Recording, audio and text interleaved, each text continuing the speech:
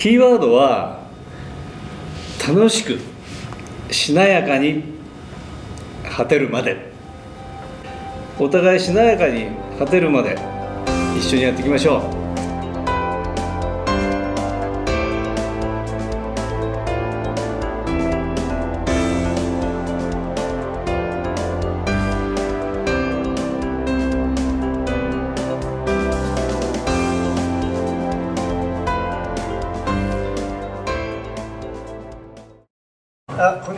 こんにちはどうも本当に今日はご苦労様あでした。りがとうございます。本当に高等学校の地元のね生徒さんを、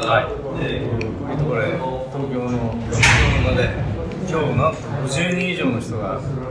集まって発表会をやったって本当にあの熱中症いろいろ全国ありますけど初めてのことなんですね。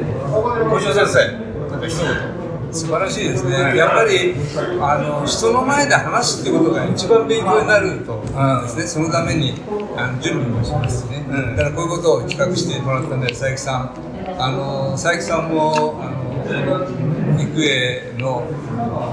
出身ですし、まああの私のあの祖母父方の祖母のあの父がね、まあそう。父方の、だからひいおじいさんになったの。え父方の祖母の父親が豊田和夫っていうこの学校の創設者だったので、まあ私としても非常に卒業生じゃありませんが、感慨深いものがありました。えーちょっともう少しなな中身を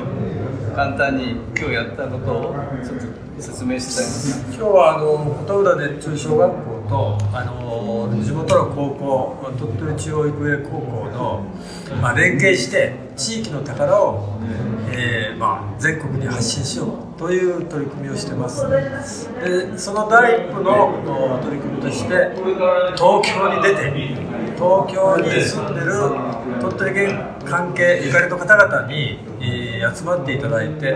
えーぜひ発表の内容をですね、えー見てもらおうと。ことで企画しました。まあ20人ぐらい来てもらったらいいなと思ってましたけどもなんと50人を超えまして本当に感激しております、えー皆さんがよかったよかったと言って帰られましたので本当にあの協力していただいた方々に深く感謝しております。はい。まあ校長先生、はい。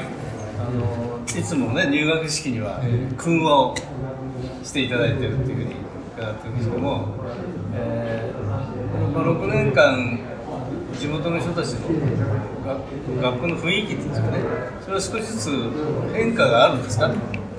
そうですね、初めはまあどういう形になるんだろうかっていうような、皆さん自身も、私自身もそうですけども、あのまあ、初めてのことに挑戦するうん不安みたいなのもあったかもしれません今もすっかりもう馴染んでいらっしゃって、え特にリピーターというんでしょうね、もう何回も何回も入学されて何回も卒業される方がおられましてもう完全に地域に定着してるんだと思いますあのまあ私はやっぱり年いくつになってもそのまあ前向きにあの自分を良くしていこうと思うと本を読む旅をするそれから人に会うこの3つだと思うんですけどもそのやっぱり地方に住んでるとなかなかいろんな人に会うっていう機会がないわけですよね。そういう意味でこの熱中小学校いろんな方にいろんな話を聞く機会をがあるというので皆さんに愛されてるのかなと。私自身はあの、まあ、地方の取り組みであの本当に面白い若いあの役場の人がねとかそれからこの間北海道でそのブルーチーズを作ってる若い人のね、あなんかもすごかったですねやっぱり若い人の話を聞いてあのみんな元気になるみたいなことが素晴らしいんじゃないかなと思います。あの琴浦だけども学校は隣の町ですよね。生徒さんはどのぐらいどんなところから集まっていただいてくれてるんですか？琴浦の場合あのことらの熱中症で生徒さんは、えー、6割は町内ですね、はい、あと4割の方が、えー、県内の、えー、例えば鳥取市だとか米子だとかそういうところから来ておられます。でまあ特にその町町外だからといって、えー、遠慮もされませんし町内の方とですねみんなで仲良くやってます。はい、こういう小冊子を生徒からのメッセージっていうのをママイキ出したでしょ？いやマイキじゃなくて。はい。この間覚えついて。ねこういう3年の区切りだったんであ区切り出したんであの佐々木さんがね地域に希望の火を灯すっていうことでえーと、いろんなあの学校の授業以外の活動をいろいろやってらっしゃるっていうことが書いてあったんですけどもうちょっと具体的にどんなことをこの間やってたんですか？ああのまあ、こういう生徒と一緒にあの地域の皆さんが知らないような魅力的なものをその、まあ、いわゆる地域の宝物をどんなものがあるのかということを我々自身も勉強するっていうことがありますね、まあ、今回は目の生命史を発掘したんですけどもまだあの地元に椿の森っていうのが隠されたあの楽園みたいなのがあってここは私有地私有地なんですけども大変いいところなんでだからよく見学させてもらいますそのお礼に